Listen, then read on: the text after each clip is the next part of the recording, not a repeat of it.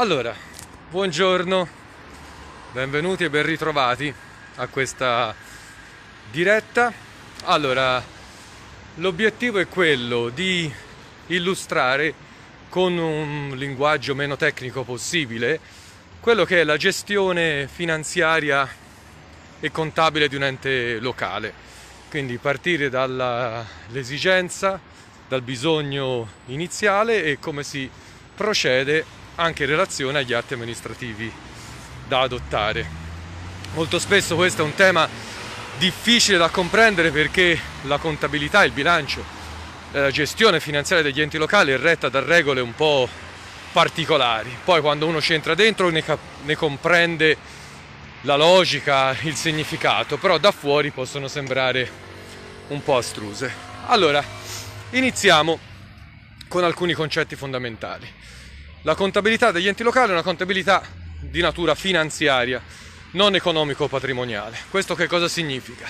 Che è un sistema contabile non analogo a quello delle aziende private, dove il bilancio si fa a fine anno, dove, come nelle famiglie, anche un modo di dire, diciamo, classico, facciamo il bilancio, cioè fa, facciamo i conti di quella che è stata la gestione. Ebbene, nel sistema degli enti locali eh, il sistema del bilancio è un sistema diverso, ha una finalità diversa, una finalità di controllo della spesa. Quando in una famiglia si fa il bilancio alla fine dell'anno si rischia di essere in rosso, di aver speso più di quello che si poteva incassare. Mentre la contabilità degli enti sistema economico patrimoniale finalità di autorizzativa, cioè io voglio contenere le spese e allo stesso tempo fare in modo che i soggetti incaricati, fondamentalmente i dirigenti, di fare queste spese lo possono fare con alcuni vincoli preventivi amministrativi. Ovviamente questo sistema rende più complicato, più ingessato il sistema per spendere dei soldi in un ente locale anche per spese di piccole, di piccole entità, diciamo si devono attivare varie procedure ed è specifico, caratteristico della contabilità finanziaria. Per fare questo occorre partire dal principale strumento di programmazione finanziaria che ci interessa, in realtà ne esistono anche alcuni antecedenti, però diciamo quello più importante dal nostro punto di vista è il bilancio. Il bilancio negli enti locali è un bilancio finanziario di previsione.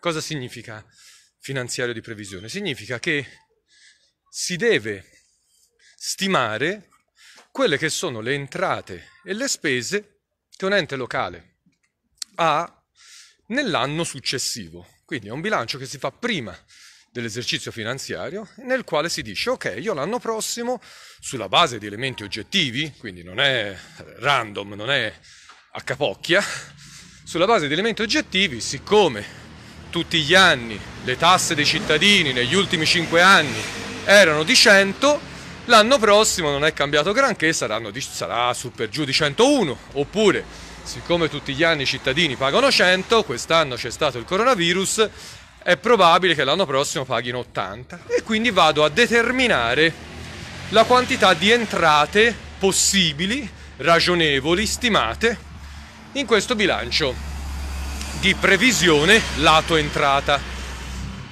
Stessa cosa faccio lato spesa, poiché ipotizzo di incassare l'anno prossimo 80, ovviamente lato spesa non potrò spendere più di 80 perché il principio di pareggio di bilancio mi porta a questo.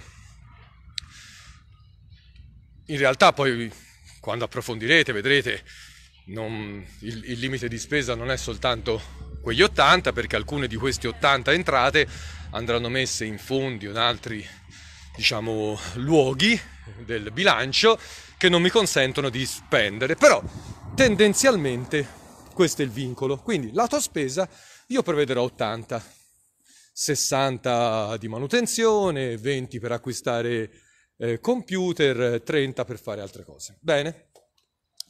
Il bilancio è l'atto fondamentale. Questo atto fondamentale, una volta approvato, entro il 31 dicembre, in realtà poi può essere approvata anche successivamente con alcuni vincoli, alcune limitazioni, eh, mi porta a poter essere autorizzato a spendere le relative somme.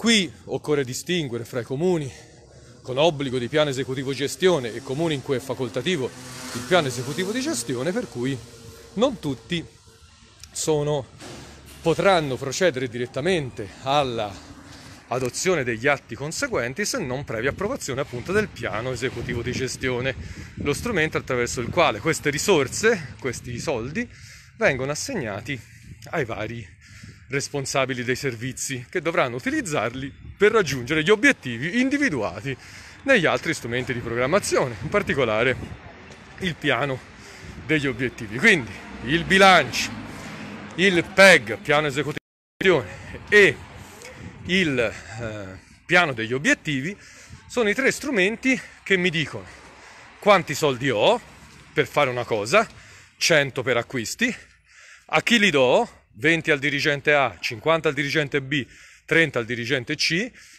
per cosa li devono usare? Per raggiungere l'obiettivo di promuovere la cultura, per raggiungere l'obiettivo di acquistare i computer necessari per i dipendenti, eccetera, eccetera, piano degli obiettivi. Nel fare questo, ovviamente, ciascun responsabile dell'ufficio dovrà spendere queste risorse sulla base della normativa di settore. La principale normativa di riferimento è quella del codice degli appalti.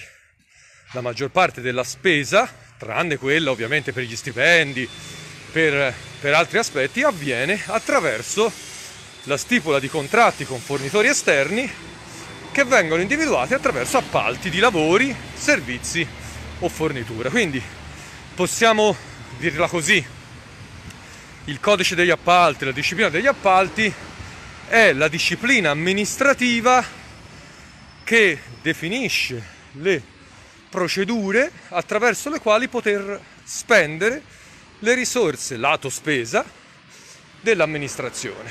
Quindi con regole di trasparenza, pubblicità, eccetera, eccetera, per garantire che questa spesa sia conforme alla normativa pubblicistica. Attenzione, mentre il PEG e il PDO mi assicurano il raggiungimento degli obiettivi, il codice degli appalti mi dice quali sono le regole esterne per raggiungere quegli obiettivi. Ad esempio, l'amministrazione vuole eh, disinfettare tutte le scuole prima della riapertura.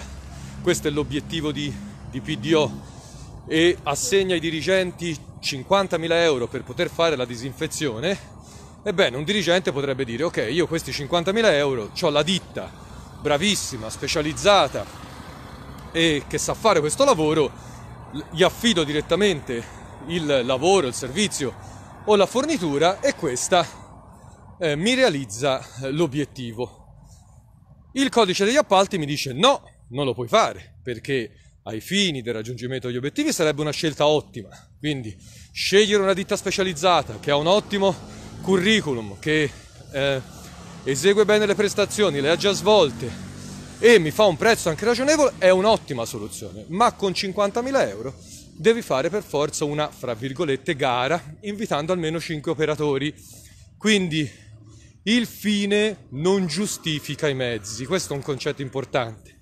Cioè il raggiungimento degli obiettivi è il fine che persegue l'amministrazione tramite i propri dirigenti negli impegni di spesa, ma i mezzi sono determinati da altre norme esterne a quelle che stabiliscono questi, questi fini. ecco perché il, la procedura di gestione contabile è una procedura che si affianca a quelle di gestione amministrativa. Eh, la stessa cosa vale dove non ci sono impegni di spesa procedimenti amministrativi. Il fine dell'amministrazione è rilanciare il turismo. Per farlo un'associazione si propone di svolgere attività di animazione e vuole 10.000 euro.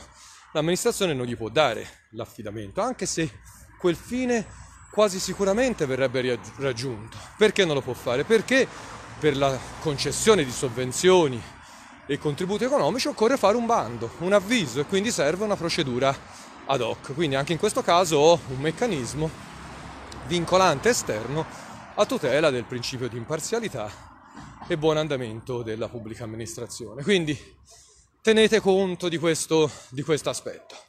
Quindi facciamo l'esempio, in bilancio l'amministrazione ha dato 100 eh, euro per eh, acquistare eh, materiale vario di uso per l'amministrazione, il PEG me ne assegna 30 a un dirigente, 50 a un altro, 20 a un altro, il dirigente che ha 50 in PEG, piano esecutivo di gestione, da spendere per l'acquisto di materiale, dovrà vedere i propri obiettivi e dire ok, qual è l'obiettivo che mi ha dato l'amministrazione?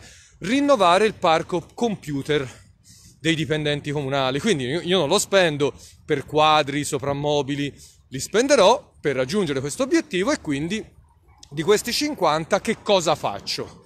Decido come impegnarli, non li devo impegnare necessariamente tutti insieme. Posso farlo anche progressivamente.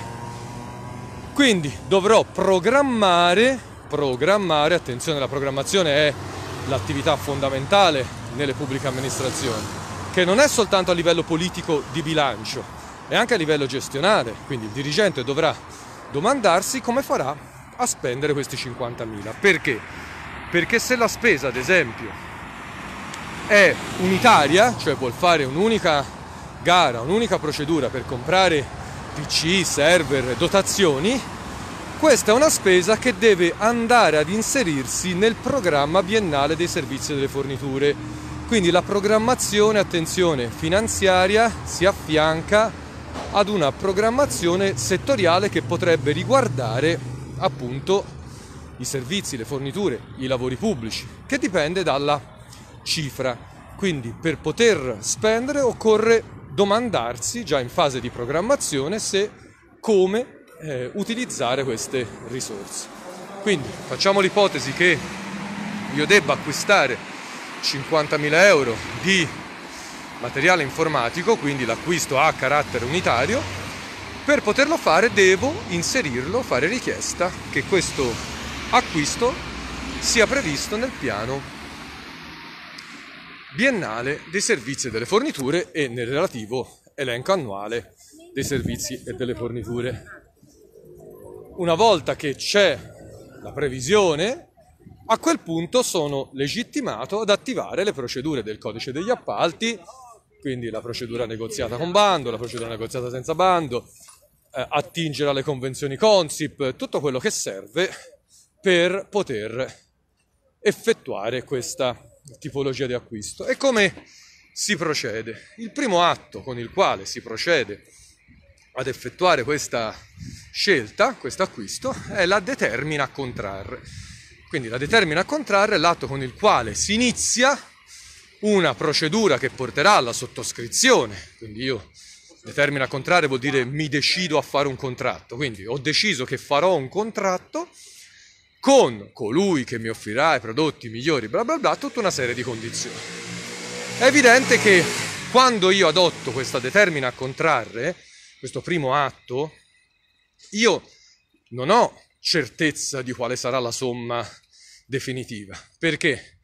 Perché l'amministrazione, abbiamo detto, fa una gara, fa un bando. Il bando presuppone che chi offre possa offrire un prezzo diverso, quello che l'amministrazione mette in gara è la base di gara, cosiddetta base d'asta, cioè la cifra massima che è disposto a spendere. Quindi il dirigente dirà io devo, voglio comprare i computer, al massimo voglio spendere 50.000 euro, darò l'appalto a chi propone il prezzo più basso o il miglior rapporto qualità-prezzo, ora non importa la modalità di scelta, sicuramente non sarà superiore a 50.000 euro, ma non so se sarà 50, 49, 48, 30. Quindi la determina a contrarre normalmente non impegna la spesa, cioè non, non blocca la spesa. La determina a contrarre prenota la spesa e qui si inserisce il primo atto, la prenotazione di impegno di spesa. La prenotazione di impegno di spesa c'è proprio perché non sono in grado di avere tutti gli elementi certi per poter impegnare la spesa. L'impegno è il primo atto della gestione della spesa, presuppone la certezza del debito e presuppone l'esistenza di un debitore. Quando io faccio una gara ancora non ho il debitore, perché non so chi la vincerà. Quindi mancano due elementi, manca il quantum e manca il soggetto. Allora si fa la prenotazione. Perché è importante la prenotazione? La prenotazione è uno strumento, diciamo, che il dirigente attua per evitare che gli tolgano i soldi. Io ho nel PEG 50.000, abbiamo detto, che succede?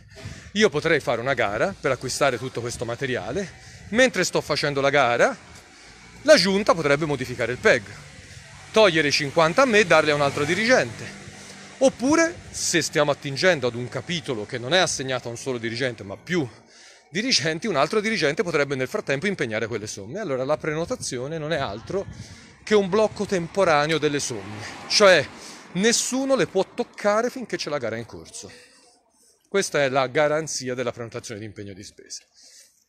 Ovviamente, una volta che si è conclusa la gara e ho trovato il vincitore e ho trovato il, il quantum devo, devo al, all'aggiudicatario, quindi si è aggiudicato la gara per la vendita di computer, la ditta Rossi, con un ribasso di gara del 10% e quindi io spenderò 45.000 euro, farò la determinazione di aggiudicazione della gara con l'impegno di spesa di 45.000 euro, che è la cifra effettivamente impegnata, che a questo punto viene congelata, viene bloccata sui capitoli di bilancio. Attenzione, un'altra cosa importante è che a differenza della gestione casalinga, diciamo del bilancio familiare, dove se io vado a fare la spesa non è che alla cassiera del supermercato gli dico, le dico guardi allora non si preoccupi, lei mi dia la spesa,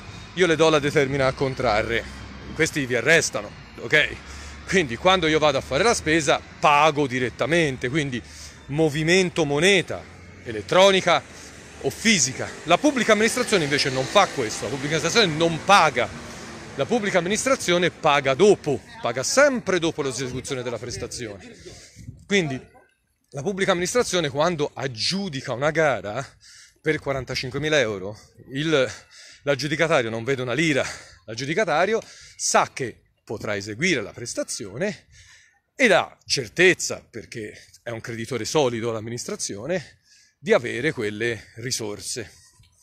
Ma non vengono pagate, quindi l'impegno non è il pagamento della prestazione, ma vedremo che nemmeno l'atto successivo è il pagamento della prestazione. Quindi siamo arrivati al punto in cui il dirigente, sulla base del bilancio, sulla base del PEG, sulla base del piano biennale dei servizi e delle forniture, dopo aver fatto una gara, quindi vedete quanto è complicato comprare sti cavolo di mobili o di computer in una pubblica amministrazione, è arrivato a, a questa, diciamo, questo risultato. Dopodiché, cosa succede? Il fornitore porterà i computer, porterà i, i, i beni, farà, svolgerà la sua prestazione. L'amministrazione a quel punto dovrà verificare se la prestazione è conforme alla normativa. Quindi se la, la prestazione realizzata è conforme a, al contratto, quindi mi hai portato i mobili che avevo ordinato, li hai consegnati nei tempi previsti, hai fatto tutto quanto era necessario, a quel punto si procede alla cosiddetta liquidazione. La liquidazione è l'atto successivo all'impegno di spesa con il quale, nei limiti dell'impegnato ovviamente, perché se io ti ho detto che ho comprato 45.000 euro di computer non me ne puoi portare 50.000, o meglio se me li porti me li regali, perché io al massimo ti posso pagare quanto ho impegnato. La liquidazione in condizioni fisiologiche corrisponde alla cifra impegnata, ma non è sempre così. Ad esempio, se io ho eh, ordinato 45.000 euro di computer e ho previsto che tu me li portassi in due tranche, quindi metà subito e metà fra sei mesi, dopo che mi hai portato la prima metà dei computer, io sono in grado di pagarti quella somma.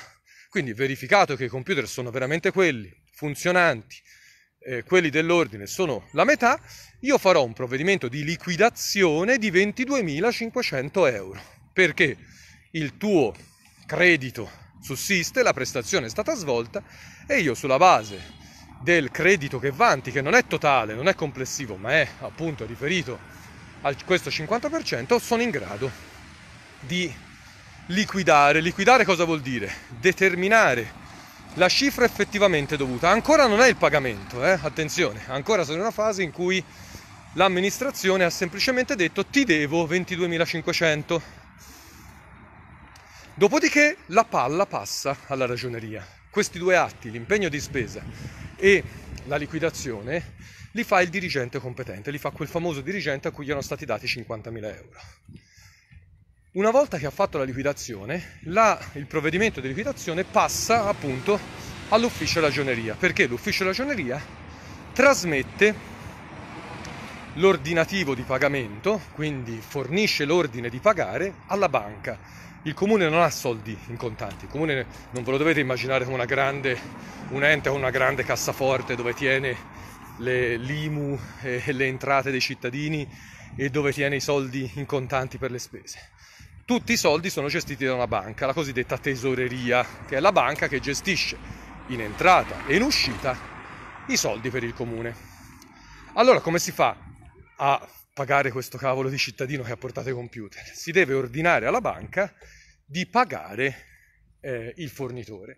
Questo avviene attraverso un cosiddetto mandato di pagamento è la fase dell'ordinazione. Si ordina alla banca di pagare 22.500 euro sul conto corrente XYZ del, del creditore che a quel punto avrà accreditata la sua somma. Questo è il ciclo di gestione della spesa nelle pubbliche amministrazioni, che parte da lontano, parte dal bilancio, passa dal PEG, il PEG deve essere letto insieme al PDO, può passare dalla programmazione biennale dei, lavori, dei servizi di fornitura e triennale dei lavori pubblici se si superano certe soglie, 40.000 per i servizi di forniture, 100.000 per i lavori, arrivare sempre alle fasi della spesa, quindi impegno, liquidazione, ordinazione e